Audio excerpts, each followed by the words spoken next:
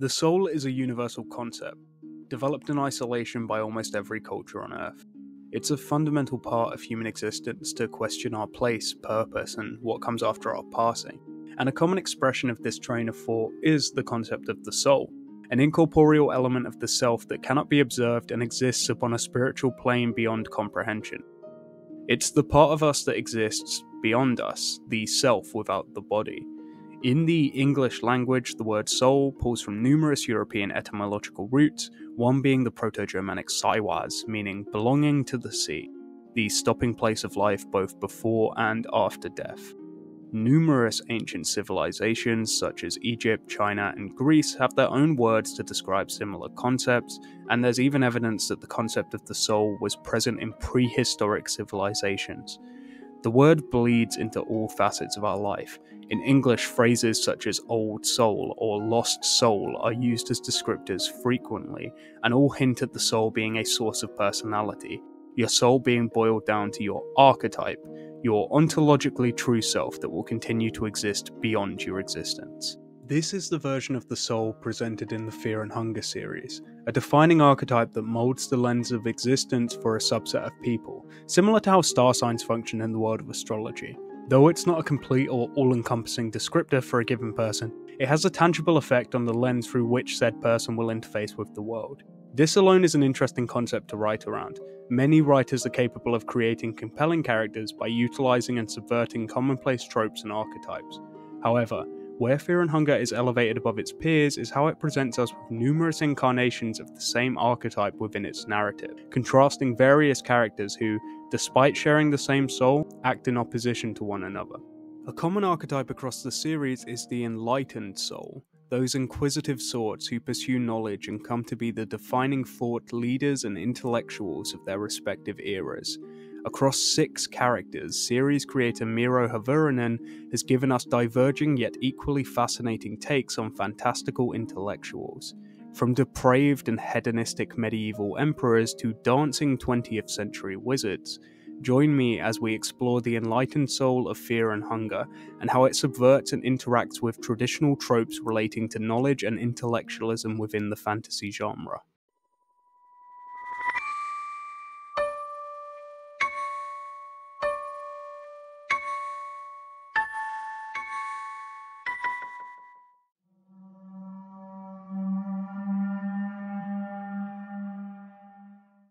Odds are you already know what Fear and Hunger is. I'm like a year late to the algorithm juice on this one, but in case I'm your first video essay on this by some sheer chance, here's a brief rundown.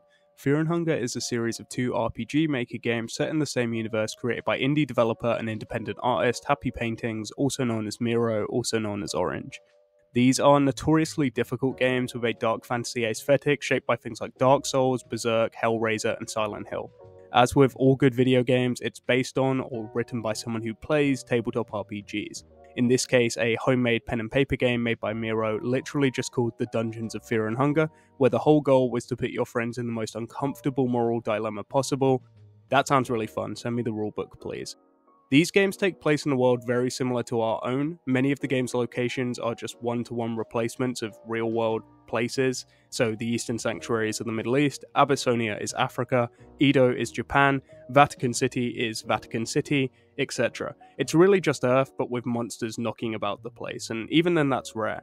Fear and Hunger as a series takes place in exceptional situations and largely forgotten areas populated with monsters and strange creatures, but it's heavily implied that outside of these areas, the world is pretty much the same as Earth. No monsters, only a handful of wizards, it's very low fantasy. The first game takes place in a particularly evil dungeon in Rondon, which is literally just England, it's also kind of France but it's mostly England. It's got the same flag and everything, and the name is just London with a single letter changed. The game is designed as an England simulator. I mean, I feel fear and hunger every time I walk to my local Tesco Express. Across the games, everyone we meet from Rondon is abrasive, self important, and antisocial, which is accurate to us British people. I know a lot of my audience aren't from here, so I'm just going to confirm yeah, we're all somewhere between Buckman and Henrik on the spectrum of personality. Across the series, we're given insights to a complete history of this world, from its earliest prehistoric days through to the mid 20th century, where fantasy World War II is set to happen. We even see the fantasy Germans invade fantasy Czechoslovakia. Fear and hunger has an extremely deep history, with the earliest civilizations being shaped by the old gods, the intangible and eldritch manifestations of fundamental concepts of existence. At the center of their pantheon are Groggoroth and Sylvian, the embodiments of destruction and creation, a dualistic take on the Hindu Trimurti, and in the second game we find out they have a son called Vinushka, who make them a one to one of the Trimurti, gods representing destruction, creation, and sustenance of the natural world in between cycles of recreation. There's also the moon god Rher, and the god of the depths, whose whole deal is that bugs are really into him and he's also kind of dead. The old gods are hard to understand or really conceptualize as they're not beings in the conventional sense. They have a presence, sure, and can have real impacts upon the world. They also have distinct personalities and motives, but they're utterly divorced from humanity, they're concepts rather than reflections of the human experience. This game pulls heavily from Ed Greenwood's fantasy concepts of societies being built atop old ones. There's lizard people and blue cave dwelling people underneath the dungeons of fear and hunger that probably worship the old gods to some degree, and they also have their own pantheons from what we can tell. So it's pretty clear that humanity aren't the only species that the old gods need to care about. Humanity isn't the center of the universe in the world of fear and hunger. And in fact, it's stated across both games that outside of Sylvian, the old gods don't really care that much about humans. The moon god Rher hates them, in fact, and his bombastic side eye alone is enough to have humans ripping off their flesh in shame and rage. That's where Alll-mer comes in. He's this game's Jesus Christ stand in. Like, D'Arce literally calls him Christ in the first game, and a few books do too. It's pretty blatant. This guy sets the precedent that gods can be more than concepts, but rather reflections of humanity, a divine being within which a follower can see both themselves and see what they could become through discipline and zealotry. It's from this example that humanity decides they can just do godhood themselves, and we enter the era of the new gods. So it is that in the year 809, a group of five known as the Fellowship travel to the gates of the ancient city of Mahab, the site of Alll-mer's ascension, and seek to attain divinity and restore humanity from a period of universal decline. It's here that four of the five will sit the throne of ascension and become new gods, only to find out they are not the first. Fear and Hunger has seen numerous cycles of new gods, humans who seek power to serve themselves, but become puppets of much older and more esoteric powers. There have been countless new gods across time, and each of them upon their ascension has lost much of themselves, being reduced to their basest state, the shape of their soul. So it is that those born with the enlightened soul, those with the capacity to become great philosophers and thought leaders of their time, ascend to become new gods of enlightenment, keepers of knowledge. There have been many, but the first we know of is Betel.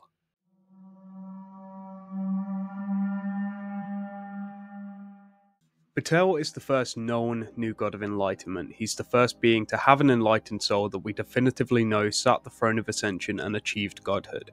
There's very little about him in game, the only depiction of him is this wacky statue, but what he represents is something entirely unique to enlightened souls precedent. Most other soul archetypes we see ascend to godhood are able to at least pick whereabouts they operate and have their own MO to some degree, but every single enlightened soul that ascends has to work in Betel's library. It's outright stated in the Hall of the New Gods that every single New God of Enlightenment has to spend their cycle acting as a subject matter expert in the Grand Libraries of Mahab. They're the most restricted soul archetype when it comes to divinity. Betel's frequent collaborations with other enlightened individuals marks him as more of a scholar than the traditional guy that knows everything fantasy knowledge god. I don't think Hermaeus Mora would ever request a peer review, but Betel probably would.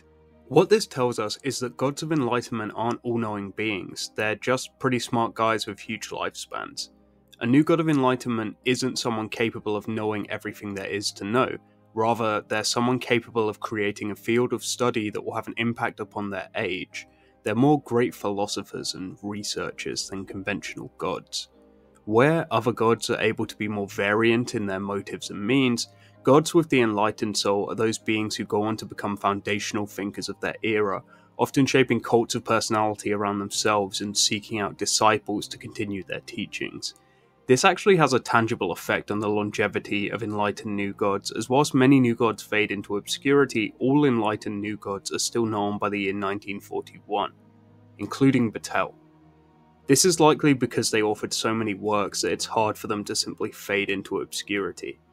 Other new gods fade from memory. Betel is the centerpiece of an exhibit in the Prehevil Museum, and stones imbued with his power are still utilized. In this sense, the chain of new gods of enlightenment is closer to our real world ongoing developments within the fields of philosophy and academia, and Betel is like Socrates, though for reasons I'll discuss shortly, I believe he has an even more apt real world counterpart. I want to reiterate here that not everybody born with the enlightened soul is immediately some super genius, the same way not everyone born in the month of May, my birth month, is immediately a genius. Just most of us are. Similarly, not everyone with a non enlightened soul is stupid. Characters like Maria, Dawn, and literal bleeding heart poet Ron Chambara are proof enough of this. What the soul represents is a core essence upon which a personality can be built, but upon ascension, or moonscorching, which is something we'll talk about later, all that remains is this core essence. A central theme of the new gods is that they're little more than pawns to the whims of the old gods, and out of all of the soul archetypes, it is likely that enlightened souls are the most useful for their machinations due to their capacity to shape thought. This is why the enlightened soul is the most prevalent soul type within named characters across the series, and probably why enlightened new gods have the least free reign in their behaviors. I'll come back to this when we discuss Valtiel and his symmetry with Vitruvia, but for now, all we need to understand is that enlightened new gods are highly useful tools for the greatest powers in the universe, and their philosophies and research often go on to impact the world for centuries. Including candidates who have the option to ascend but choose not to, there are five named potential new gods with the enlightened soul, which is far more than any other soul archetype. The most any other sees is two. Betel is the blueprint for what an enlightened new god should be, but what he represents is less esoteric and cryptic than his successors. His name pulls from the biblical Bethel, meaning house of God in Hebrew. This might be a bit of foreshadowing as to how his house, the library, goes on to become the source of research that benefits the old gods for almost all of recorded history. However, his closest real world ties aren't to this location, but rather the Neo Assyrian Empire and King Ashurbanipal, who reigned around 600 years before the birth of Christ. Betel doesn't appear to be human, he looks closer to the golems of Mahab, so there's every chance he existed before Alll-mer or even mankind.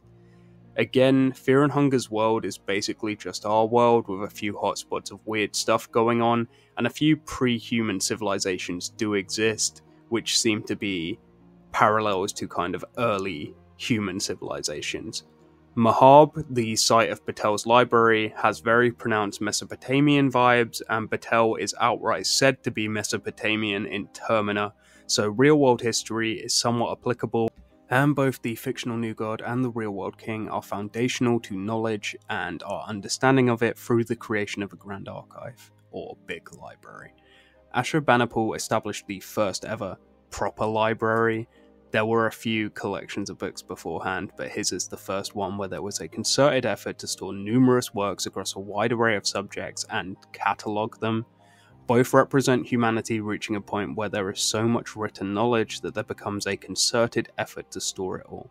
Interestingly, it's from Ashurbanipal's library that we get the Epic of Gilgamesh, which is one of a handful of texts referencing the god Enki, a name that will be familiar to you by the end of this video if it isn't already.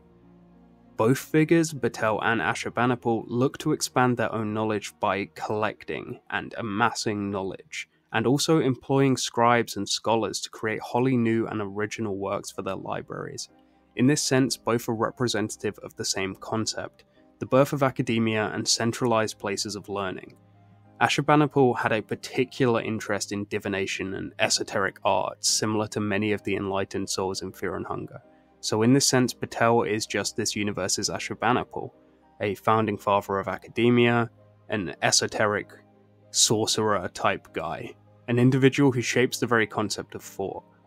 However, the precedent he sets is to serve the old gods, and it is his precedent that informs all born after him with the same soul type. His openness to collaboration actually ends up being his downfall when he's tricked out of his divinity and his library by the next new god of enlightenment.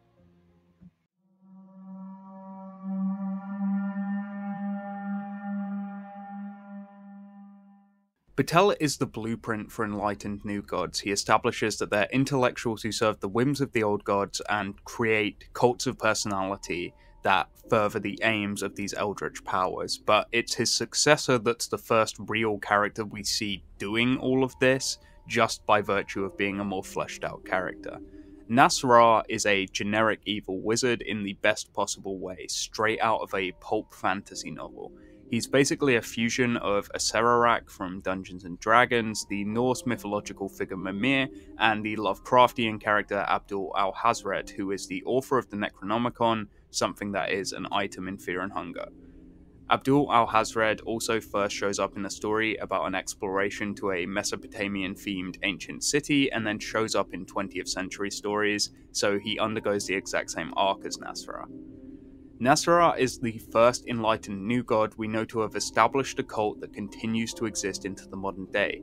Despite his reign happening at some point in the 5th century, his cult exists as late as 1942, and he's still alive at that point as well, making him the longest lived of the new gods that are actually active and doing things and not just kind of hanging out in the lunchroom. Nas'hrah is the creator of the Yellow Mages, a group of opium smoking weirdos that venerate Groggoroth rather than any new god, but not out of respect for a higher power. Yellow Mages are opportunists who align themselves with whatever makes them the most powerful. They're a might makes right group, motivated by ego and individual power more so than anything else. In game, Yellow Mages won't even let you join their cult unless you can straight up kill them after they give you their Eclipse Talisman, so that's the kind of guys they are. Although you can just swipe the talisman and then run away if you can't figure out that yellow mages are actually probably the easiest enemy in the game to beat. The yellow coloration is another reference to cosmic horror literature, the King in Yellow series by Robert Chambers. This is a series of books that would later be included as canon in the Lovecraft mythos. The King in Yellow series focuses on a play that is said to drive observers and actors insane, and the protagonists of this series are often highly involved with the decadent movement of the 19th century. It's this real world cultural movement that informs a lot of how we view Nas'hrah. For all of his evil wizard behavior, as with all gods of enlightenment, Nas'hrah is also just kind of a figurehead for real world philosophy. Fear and Hunger's world is really similar to ours, there's always going to be overlap. I think I've made that clear by now. The decadent movement is the 19th century cultural phenomenon where, as European society approached the fin de siècle, or the turn of the century in English, there was an increased interest amongst the wealthy to just go crazy, drive yourself to the limits of sensation. There was a fascination with aesthetics, egocentrism, and exotic sensations and experiences. London in the late 19th century was a hotbed for esoteric practices. There were frantic orgies, opium dens, all of that. And this is the same kind of stuff that the Yellow Mages are really into. Nas'hrah re-emerges in a London-inspired city to form a cult of opium smokers during a period of decline. It's exactly the same thing. Critics of the decadent movement often cite it as a movement of societal decline, which informs Nas'hrah's title, the doom of modern man. Nas'hrah isn't the doom of modern man because he's a powerful spellcaster, it's because he preaches ideas that feed the paranoia of declinists. It's his enlightened soul, his ability to communicate ideas that makes him dangerous, although the giant fireballs do probably help. In Dungeon Knights and Easter Egg Game Mode, Nas'hrah is a teacher, again showcasing his role as someone who can spread ideas to newer generations of academics. This is also his role in Termina, where he leans more heavily into the Mimir role of advisory talking head. It's his ideas that go on to inform Kaiser, and he can also teach Enki at various points in the game. Nas'hrah is a decadent through and through. He values knowledge over simplicity, he believes strongly in pushing oneself to the limits of experience and knowledge, and he has little qualms over morality or ethics. There's no limits to acceptability in his mind. I really like Nas'hrah for this reason. He's very simple, but also very compelling. Usually in dark fantasy, we have characters go completely mad from getting too into forbidden knowledge. In Dark Souls 1, which is an inspiration for this game, it happens to two characters. But Nas'hrah revels at the edges of experience. He doesn't go that mad. He even throws insults at the god his cult worships and dies purely because he just loves doing crazy stuff. Equal parts Rasputin, Alhazred, and Machiavelli, it's hard not to love him in spite of how reprehensible he can be. Nas'hrah also represents a foundational aspect of academia, which is hating other academics. He absolutely despises his successor Valtiel. He hates his research, he hates his creations, he hates the guy on a personal level. And that's just how academics are. Throughout all of history, that's true. From Diogenes throwing a dead chicken at Plato to whatever the hell is going on in bread tube infighting. People who do a lot of thinking really dislike other people who do a lot of thinking. So let's discuss Valtiel.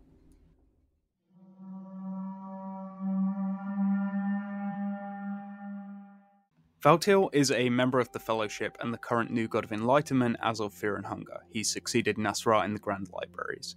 His area of study is the human body, and he is fruitlessly looking on ways to improve on it or just outright create a new species. This section is going to include tinfoil hat theories that I hope will bring together all the disparate tangents I've been going on, so please stay with me here. Whilst Betel is the first confirmed new god of enlightenment, in Fear and Hunger 2 we learn of an older being called Vitruvia, who is named for the Vitruvian man. This figure was made to design mankind for Sylvian. Creation of entirely new species is something we also see play out with Valtiel, and to a lesser extent with most of the other new gods of enlightenment, Nas'hrah creates husks, for instance. This leads me to believe that Vitruvia is not an old god, but rather a contender for the first new god of enlightenment, someone pre Betel. After all, she's clearly not an equal to Sylvian, rather an underling, and this seems to be the same position that Valtiel is in. Valtiel takes his name from the Silent Hill 3 enemy, Valtiel, really similar, um, the I and the E are swapped around. And this name pulls from valet, which is the French word meaning attendant. They are attendants to gods.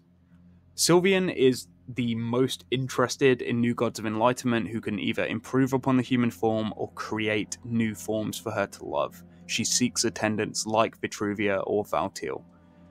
Whilst the other new gods can go out and do whatever, enlightened souls are stuck in the library doing the work of the old gods, be it Nas'hrah creating a cult of Groggoroth or Valtiel continuing the work of Vitruvia in service of Sylvian. The Fellowship, one of the most important era defining groups ever pulled into the thrall of the old gods, contains two enlightened souls across five people. This is all proof that the purpose of enlightened souls is to enact the will of the increasingly more distant old gods upon humanity, and these parallels between Vitruvia and Valtiel show that this is something that they've always been doing. It's posited by many of the characters that becoming a new god is to become a puppet of the old, but what exactly the old gods want with the new ones is pretty vague. Dominating souls just go on big rampages around the place upon ascending, and Francois becomes a dog breeder, we see tormented souls like Ragnvaldr and Ron Chambara also just go around on big rampages. This can be said to be aligned with Groggoroth, his wolf mask cultists basically just do this, but there isn't much direction here. It doesn't seem like there's really a plan. The Radiating One is a new god in Termina who ascends just to sell you amulets. How this fits into the old god's plan is really anybody's guess. I'm actually quite curious to see any theories about that. Across soul archetypes, we see very few as closely aligned and desired by the old gods as the enlightened souls. Nas'hrah venerates Groggoroth. He creates a cult with far more lasting impact and reach than the wolf masks, and Valtiel seems to operate to some degree in the interests of Sylvian.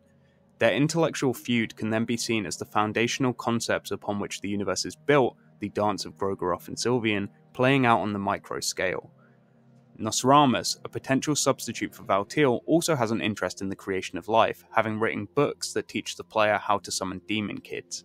Enki, a potential successor to Valtiel, introduces himself in his first line of dialogue as a priest of destruction, again showing the scale swinging between the two old gods with each new enlightened soul who comes to stay in the library. Enki is also the only playable character to be brought to the dungeon by divine means. He receives a vision of the future at his crucifixion. The other three playable characters are all motivated by personal reasons, but Enki is being reached out to by gods. Granted, it's not an old god, but the new god Nilvan who calls him, but we know that the new serve the old. Again, we see a great emphasis on the influence of divine beings upon those with the enlightened soul. They're the ones who are being actively scouted to come and ascend, explaining why two fifths of the fellowship fit this archetype. The ultimate way of showing devotion to Sylvian is to partake in a marriage. the fusion of two beings in a carnal ritual that sees them become one being, a hermaphroditic creature closer to the form of Sylvian. Valtiel creates the uterus enemy type purely as incubation chambers for his own children. His motives are closely aligned with Sylvian in this regard. This dude is doing way more blood, sugar, sex, magic than the bunny masks, the actual confirmed Sylvian cultists. His freak is utterly unmatchable. When the new gods are asked about Valtiel, they'll comment that he believes creation of life is the key to true godhood, again showing a subconscious affinity for Sylvian. Valtiel is a lot like the Kushan sorcerer Daiba from Berserk, one of the game's influences. In Berserk, as in Fear and Hunger, there's a stated hierarchy of divinity. There's the God Hand, the most powerful beings akin to Fear and Hunger's old gods. They exist beyond our reality and serve as embodiments of concepts that influence the world in subtle ways, each with strange hedonistic cults in the hidden places of the world. Below them are the Apostles, powerful beings akin to the new gods, and below the Apostles are humans. Daiba is a researcher and sorcerer who looks to bridge the gap in a manner similar to Valtiel, creating a great artificial womb within which to gestate a new god with the power of an old one, and usher in a new age. Both also create artificial beings to look to supplant humanity, and both are ultimately unable to break free of the divine tier system. In the case of Valtiel, the Lord of the Flies is his attempt at a new form of humanity, but it's ultimately a failure. The creature's name, Lord of the Flies, is a reference to the demon Beelzebub, showing that creatures are the opposite of divine. Rather, they are demonic entities utterly unable to meet the standards set by his predecessor Vitruvia. To put it in less academic terms, this guy sucks at his job and he keeps flopping, to the point where it drives him to turning himself into a decoration inside of his library. Vitruvia had a similar issue, finding constant flaws in her creation, her growing issues with humans leading to the creation of Alll-mer. As a dark priest, Valtiel had dedicated his life to the worship of the old gods prior to his ascension, and in his ascension he served their interests and stated motivations more so than any other from the Fellowship who he ascended alongside. The trap of divinity is most appealing to those with the enlightened soul, and perhaps this is symbiotic, as those with a capacity for shaping collective thought are most desirable to the old gods for whatever machinations they have upon humanity. In this sense, enlightened gods are effectively pawns of the old gods, those driven by a pursuit of knowledge who are ultimately trapped in depressing cycles of failing to achieve the impossible standard for divinity that has been set for them, and being supplanted when someone better aligned to serve the ancient masters of the universe arrives at the library. To be born with an enlightened soul is to be born with the ability to shape universal thought, but never enough to reach the potential expected of you. Vitruvia and Valtiel both serve the interests of Sylvian, whilst Enki and Nas'hrah represent the interests of Grogoroth, However, only through rejection of these higher powers do they attain true enlightenment. In order to be a true free thinker, to be truly enlightened, one must reject the trap of divinity, reject the standard of the old gods, and instead set a new standard for humanity. The world of fear and hunger can be shaped for the better, shaped permanently, but it will not be by a god but a mere mortal. Nas'hrah and Valtiel came to know this too late. Only after they had spent centuries in service of gods they came to despise, failing to achieve that which they believed they could. However, there was one who realized the trap of divinity early enough to save themselves, and in doing so would come on to become the most influential intellectual in the history of Fear and Hunger's world.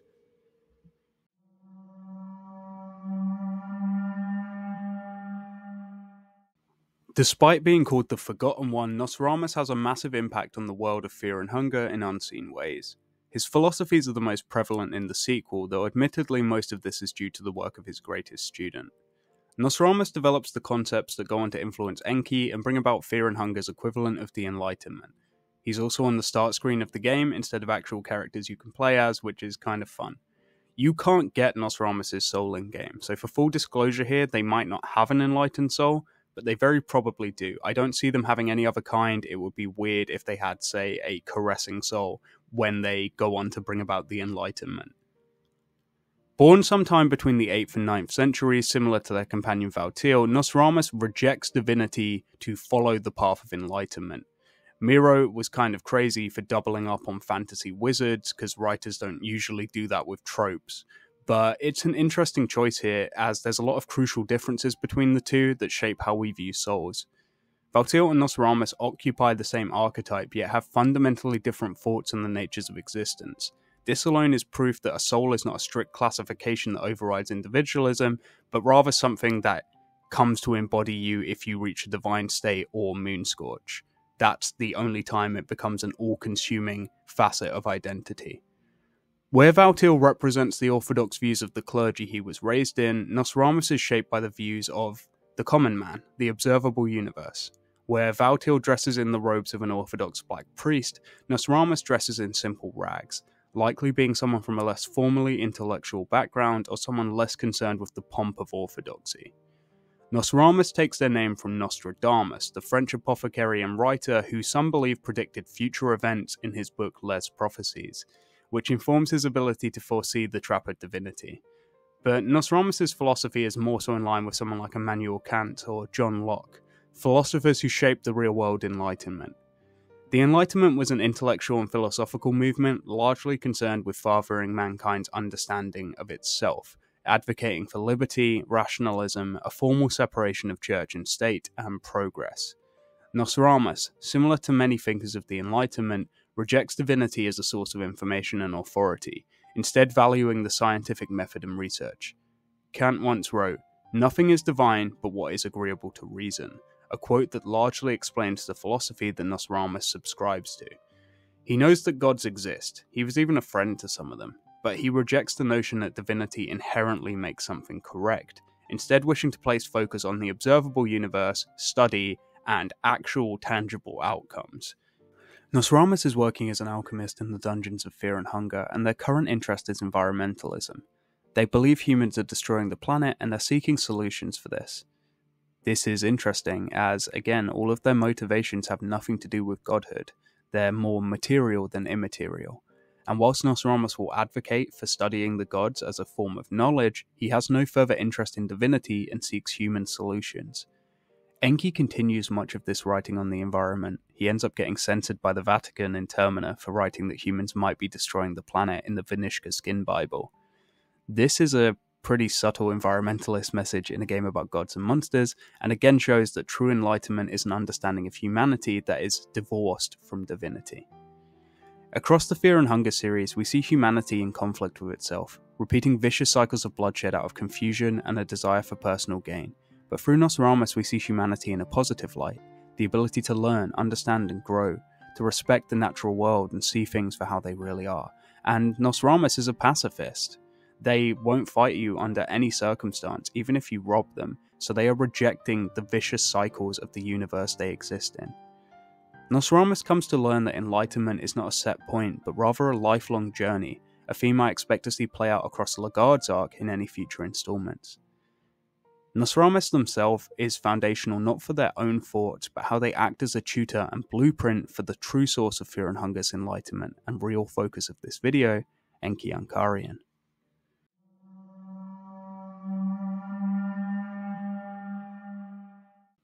Enki is the first actually playable character on this list. He's also the single most influential thinker in the history of Fear and Hunger. His philosophy is interesting as it shifts numerous times. He can be a student to both Nas'hrah and Nosramus at various points on his journey, internalizing numerous works of those who came before him and using it to shape the foundations of modern thought. Even prior to arriving at the dungeons, he was a known philosopher and academic. He's said to be familiar with all the books in the great libraries of Rondon. Enki is the glue that ties together this disparate academic tradition, the character who fuses all prior thinkers' philosophies into one overall mindset. From Termina, which takes place in the 20th century, we learn that Enki, who lived in the 16th, is still a well regarded philosopher. His writings create schisms within the Church of the Dark Priests. This is another facet of Miro's writing that's really good. Religions aren't treated as homogenous groups, but rather groups of people that can infight and disagree on things. Fantasy writers often just write up their Christianity stand in and call it a day, not realizing that there's hundreds of unique ways to practice Christianity, and the history of the faith is a history of infighting. In Termina, a character named Father Hugo rewrites Enki's book on Vinushka to remove passages about the negative effects of humanity upon the environment, twisting the words of a great thinker to befit the narrative he wishes to push, seeking academic legitimacy through Enki's reputation. In the Hall of the New Gods, Enki is described as a prime candidate for emerging as a luminary of some new epoch, and that's exactly what he is. His writings on divinity and the nature of man go on to become the defining texts on the subject. Entire civilizations' concepts of faith are built around his work. As stated earlier, the Vatican edits his text to legitimize their own ideas as humanity enters the cruel age, an era similar to our real world industrial revolution. Personality wise, Enki is video essayist material. He's antisocial, frail, obnoxious. He always looks tired. Some of his closest friends are insects. He's very relatable. He's a lot like me in many regards. His name is the same as the Sumerian god Enki, the god of knowledge and creator of human life, though Miro has said before that this is just a coincidence. In the Deluge, the Sumerian version of the flood myth, it is the knowledge given to humans by Enki that allows them to survive the floods sent by the gods. Enki brings knowledge that rejects the desires of gods and allows humanity to flourish, so the name is apt even if only coincidental. In the words of Master Oogway, there are no accidents. Enki's motivations for coming to the dungeon aren't as personal as the other three playable characters. Instead, he comes seeking knowledge on the prophecy surrounding Le'garde off the back of his own divine vision. He's already a highly respected priest and philosopher at the beginning of the game, but he was ready to end things after believing he'd learned all there was to know. In this sense, he's similar to Valtiel, believing he's reached the limit on how much he can develop due to an inability to look outside of the defined parameters of intellectualism set by the old gods. It's through discussions with his teachers, Nas'hrah and Nosramus, that he learns to view things differently and goes on to reject divinity in favor of human centric views of the world, quite literally ushering in the Enlightenment. This calls to mind Plato's story of the cave, wherein a man who spent his entire life within a cave cannot conceptualize a world outside of it. Enki has spent his life limited by conventional and accepted knowledge, and for that he's blind until Nosramus opens his eyes. This is made more apparent by the reading of the writings of Valtiel, who despairs that he's reached the limits of his mind in spite of his godhood. He's incapable of seeing things outside of the cave that the trap of divinity puts him within. Like Nas'hrah, Enki will utilize the powers of the old gods to his advantage. If you aren't playing as him, but don't recruit him, he will engage in a marriage to gain power from Sylvian. But like Nosramus, he can come to believe divinity to be a trick, he sits the throne of ascension and uses it to gain insight rather than power, rejecting his own godhood in his S ending. Fear and Hunger has a dubiously accepted canon due to things confirmed in Termina. Enki's S ending is largely believed to be what actually happened, but take all of this with a grain of salt. It's time for a tinfoil hat theory, because Vitruvia being a new god of enlightenment probably wasn't controversial enough, and I need to say something crazy. I legitimately believe that Logic, the machine god born of human suffering and ingenuity in Termina's A ending, is a direct result of Enki and his studies into humanity. To explain this theory, let me tell you a story, and whether you choose to believe it or not, I'll leave up to you. After all, who really knows what happened?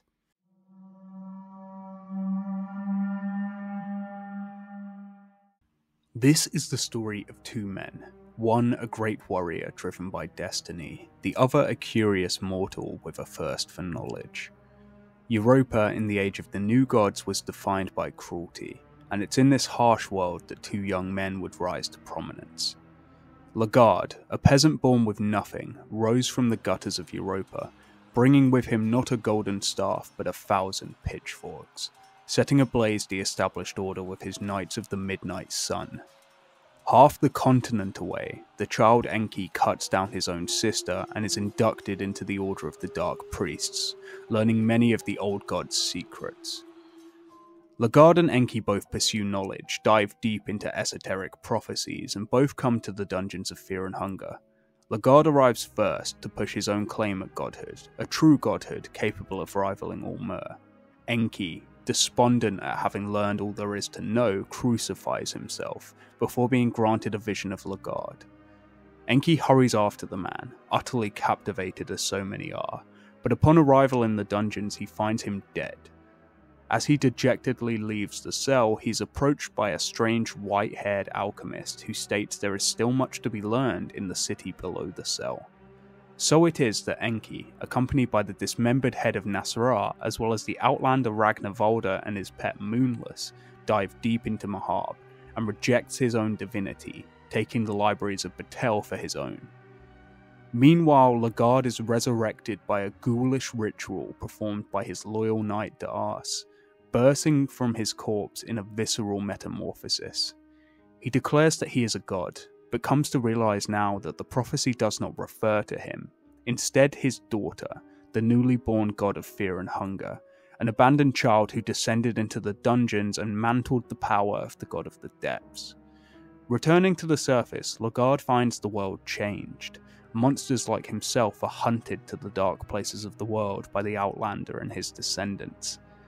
So it is that Le'garde operates in darkness for centuries, amassing power within the country of Bremen as well as in the eastern sanctuaries, exploding onto the political scene in the 20th century as he had centuries ago, not with a golden staff, but with a thousand pitchforks. Le'garde returns to the dungeons. The Bremen expedition inside can be happened upon by aspiring yellow mage O'saa. One can only imagine the rage and frustration of being cheated out of your destiny, being consigned to the annals of history, a living ghost and a man out of time. He had to have missed something, surely, something in these dungeons that would grant him his birthright, his divinity. It's here, I'll wager, that Le'garde finally came face to face with the Enlightened One, who had come here some centuries ago in search of him. A long overdue meeting occurs in the libraries of Mahab. Oh, I know you. You're supposed to be important, I think, says the unkempt librarian, sleepless nights buried in books visible on the bags under his eyes. The two converse, both happy to meet someone from their own time, and so it is that Enki imparts a lesson he was taught by Nosramus. Study the old gods, and the new gods too. There's lessons to be learned in both cases. Alongside this, he imparts the teachings of his master Nas'hrah, and Le'garde learns of the human dilemma, the belief that humans cannot attain divinity within the constraints of the old gods, and must instead construct their own framework to rise within. We see this discussion play out again in Termina, Nas'hrah and Le'garde talking philosophy and debating the subject that was discussed in that ancient library. So it is that Kaiser returns to the surface, he has escaped both the dungeons and the cave of thought that he was in. He sets about building logic, a human god born of human ingenuity. As Enki did, Kaiser is happy to use the old gods to suit his needs. He creates grotesque soldiers out of Sylvian marriages, but he crosses out divine symbols in his machines, and he rejects working within the divine system. Ultimately, this sees Le'garde once again cheated out of his divinity, but this is something he comes to terms with, understanding that he is not a god, but a god maker, the creator of the eternal machine that will drive humanity eternally. Kaiser, now enlightened, seeks the end of history. Fear and Hunger 3 isn't out, so logic might not have even been turned on. We don't know the canon ending of Termina, However, irrespective of ending, we know from the existence of the tunnels that Kaiser sought divinity through humanity. We know he returned to the dungeons during Enki's tenure in the libraries, and there's every chance that the two operate on a shared intellectual framework, as they both have interest in the same philosophies, such as Nas'hrah's concept of the human dilemma. Here again, we see the enlightened souls of Fear and Hunger being the true power behind its world, ushering in the changes of each age. We also see a new form of humanity being created, which seems to be a theme with each new cycle of enlightenment. With Vitruvia, it's humans. With Betel, it might be the stone golems in Mahab, but that's a headcanon of mine. With Nas'hrah, it's the husks. With Valtiel, it's the Lord of the Flies. With Nosramus, it's the Demon Kids. And with Enki through Le'garde, it is Logic and possibly the Doppelgangers. An aspect of enlightenment in this world is to ponder the human form and to seek to further it, reaching true divinity through changing the human form. However, Enki is not the last enlightened soul. The world doesn't end at logic, and there's quite a bit of academic tradition that goes on in the four or so centuries between the two games. There's someone who comes after him, and his ending symbolizes a uniquely 20th century post Enlightenment train of thought that simply couldn't have existed prior to Termina. So let's talk about O'saa.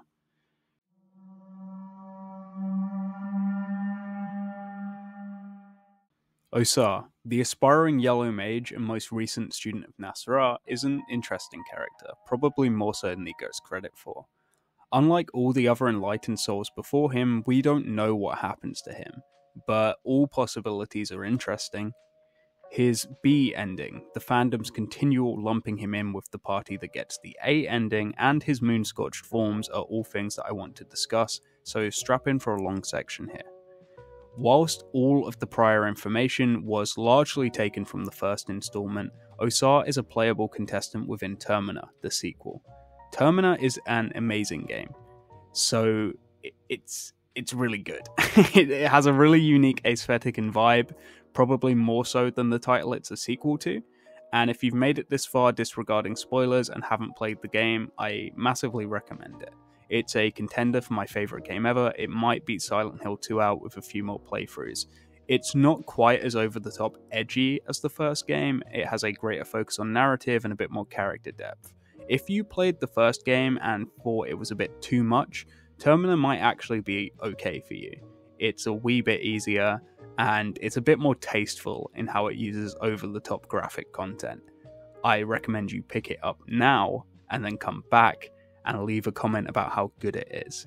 That's very good for me, algorithmically speaking, but it's also good for the community. It's a parasitic relationship. Speaking of parasitic relationships, let's talk about the mastermind himself. O'saa is a unique contestant in Termina, as he represents a lot of perspectives not often explored in the series. He's Abyssonian, a notable foreigner in Europa. His clothing and manner of speech all mark him as notably different from the other passengers aboard the train. He studies strange magic and forgotten occult secrets. He's learned in ancient knowledge, but utterly useless with the technology of the modern age. He's a student of Nas'hrah, who he was called across the world by, and a survivor of the dungeons of fear and hunger. Unlike every other enlightened soul we see, O'saa is not a new god candidate, but rather a uniquely modern thinker who, in a parallel to Kaiser, seeks to build on the knowledge of the old world to usher in the new. O'saa is even shot by August, who mistakes him for Kaiser, showcasing this parallel through visual shorthand. There are four ways O'saa's story can go, but given that the Sulfur Cult story really has nothing to do with him, I'm going to ignore that and focus on the outcome of the other three options. The first thing that can happen to O'saa is that he moonscorches. Moonscorching is where the moon god Rher's influence causes someone to transform into a monstrous version of themselves that seems to reflect either their own insecurities or a twisted version of their deepest desires. When O'saa moonscorches, he becomes the mastermind, a creature that largely resembles himself but with a mushroom head. The mastermind acts like a yellow mage from the first game. Many people have pointed out the similarities to the cordyceps fungus, which you probably know about from Pokemon or The Last of Us, but this is only part of the visual symbolism here. There's actually an in universe parallel, where the god of the depths created the Mumblers that roam the thicket from the first game. The greater Mumblers are tragic figures who are said to achieve awareness but are unable to break free of the warped forms that have been forced upon them. We even find one in the Mahab library, perhaps a sad soul looking for answers as to why it's been cursed. So, both out of game and in universe, there's a precedent for fungi clouding the mind, but in the universe of Fear and Hunger, it has a distinctly divine cause, be it the god of the depths or the moon god. Here we see Rher trap O'saa in the trap of enlightenment that Sylvian and Grogoroth trapped his predecessors within, just in a much less subtle way. Whilst moonscorched, O'saa adopts the lotus position, which is said to induce a state of samadhi, Samadhi is the eighth and final step to enlightenment on the Eightfold Path of Buddhism. However, O'saa's enlightenment here is a false enlightenment, just as Nas'hrah and Valtiel attained. In the Eightfold Path, the three main focuses across all steps are ethics, concentration, and wisdom, but O'saa achieves none whilst in this state. He'll mindlessly attack anyone who comes close, which is a failure of ethics, his mind is clouded and he is unable to express any kind of thought, showing a lack of concentration. And he's fallen for the influence of the old gods, which we know to be a failure of wisdom. This false enlightenment is a visual metaphor for the ongoing struggle of humanity in this world and ties deeper into the lack of agency that marks the struggle of would be enlightened souls. This has thematic links to the overall messages of the game that humanity needs to find solace within itself, but it's also tying into the themes present in O'saa's story. He's a character defined by freedom, but across the game he's pulled in the directions of guiding hands, be it travelling to find Nas'hrah, or being moonscorched by Rher, or by being absorbed by logic. he has so little agency over himself. Logic is the machine god created by Kaiser, a calculating piece of technology that uses both the human soul and mechanical components to force humanity into the information age through brute forcing godhood. In the game's ending A, logic activates and the world is brought into an information age where reason prevails and the afterlife of humanity is changed to be a strange green glow. This is basically the Lovecraftian internet turning on and in a lot of people's interpretations of this ending, O'saa is one of the four contestants consumed in the activation of logic. Both Mouth Doog and Worm Girl, popular Fear and Hunger content creators, put forward the following party as the group that activated logic Abella, Karin, Olivia, and O'saa. All of these characters make sense for story reasons, but there's also a lot of tragedy in them being subsumed into this machine. Each of these four is a character defined by a desire for freedom and a lifetime of limitations, so them being consumed to power Google Chrome and the world entering a state of binary answers and cold logic sees all of them ultimately failing to achieve the freedom they desire. On top of this, the only characters we know to be objectively correct about most of the stuff they discuss, Enki and Nosramus, speak extensively about how important the environment is, and logic is powered by an inversion of the rune of Vinushka, showing logic will have disastrous impacts upon the natural world. Logic is ultimately a failed project because Le'garde built it to answer a dilemma put forward by Nas'hrah, an enlightened soul who fails to see the bigger picture. Nas'hrah's cool, but he's wrong. He's one of the guys who failed enlightenment. Le'garde also venerates Betel in the museum above the bunker, another person who was completely unable to walk the path of Nosramus. Le'garde has taken all the wrong lessons to heart. He venerates teachings of people we know to be wrong. So, in both of these outcomes, O'saa's story is one of tragedy. A soul defined by a desire for truth and freedom being pulled into the machinations of greater beings that ultimately denies him the same awareness as Enki and Nosramus. O'saa is just another Valtiel in these situations, doomed by limited knowledge. However, in his B ending, we see another outcome, and one I think would have really fun implications if it continued into any kind of sequel. The game's B endings are character specific. For the most part, they just see the characters survive Termina and go on to live their life. Most bad, some good, but almost all inconsequential. The characters just go on and keep on living. O'saa is an exception. He throws Nas'hrah into a lake, returns to his homeland and seeks to topple the Church of Alll-mer, instilling himself at the top. Here, O'saa has toppled traditional theology and has utilized all he has learned from the collapse of the colonial states of Europa to introduce a new theocracy to war torn Abyssonia, with himself, an enlightened human with no divine purpose, at the top. He's attained much of the wisdom of his forebears, but rather than existing in libraries and caves, he's gone out into the world to teach the people. I doubt this ending will happen, as for the most part, Fear and Hunger follows real world history, and something like this has never happened, but it would be cool to see the fallout of this in subsequent entries.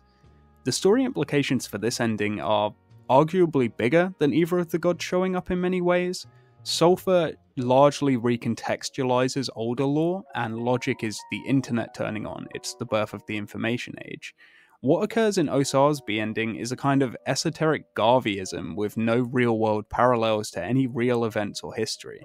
It's an alternate world where an enlightened wizard liberates Africa from the European powers only to ban Christianity and make himself the human messiah. It could see the Yellow Mages, or a new order started by O'saa, becoming a force for change, and it could make Abyssonia an interesting setting to explore, as there are very few parallels in other fantasy properties. To see the followers of Enki and esoteric environmentalism collide and clash with the followers of O'saa and eldritch post colonialism set to the backdrop of a world defined by machines and systems of divinity created by fantasy Germans would be such a weird and cool setting. There's, there's nothing like that. O'saa is a worthy entry in the canon of intellectualism within this world, but his story is often defined by the same failings as his forebears, his moonscorch and his absorption by logic seeing him fall unwittingly into the same mistakes as those who came before. Ironically, it's quite a lot like his master Nas'hrah. This ending that actually sees him contribute to the canon of enlightenment is probably the least likely outcome for him. So, for this reason, I view him more as a commentary on how the soul is not a guarantee of greatness, how those with great potential can fall short and be crushed under the weight of the world. In the activation of logic, his fate could be seen as the death of traditional academia and knowledge as the information age changes the nature of knowledge itself. And that kind of brings me to my final point here. What does an enlightened soul look like in a post logic fear and hunger? Because for all of this game's more crazy and out there themes, the enlightened souls being the true power behind the world is similar to our own history these are the great thought leaders, the people who come up with the ideas and drive the world forward. And for the most part, they've been parallels to real historical figures. They've made sense. But there isn't really anything you can pull from to create a future genius or a future thought leader without making assertions about how the future's going to go. It's very unlikely in a potential fear and hunger free that there won't be an enlightened soul. The enlightened souls are the most prevalent soul archetype, as I've stated in this video. So, what does an enlightened soul look like after logic? And I'll leave you with that question, so feel free to drop any answers below. Whilst you're there, also consider subscribing, liking, and if you really enjoy the content, you can become a channel member. That's a thing I'm doing now. Shout out to the one person who figured that out before I properly announced it. This video has been a nightmare to make. I lost all my footage and then had to go back and play these really difficult games a few more times, which I don't mind because I enjoy playing them. But my life for the last month has been fear and hunger runs in between shifts at work. so, yeah, if the footage looks a bit spotty in places, that's the reason why.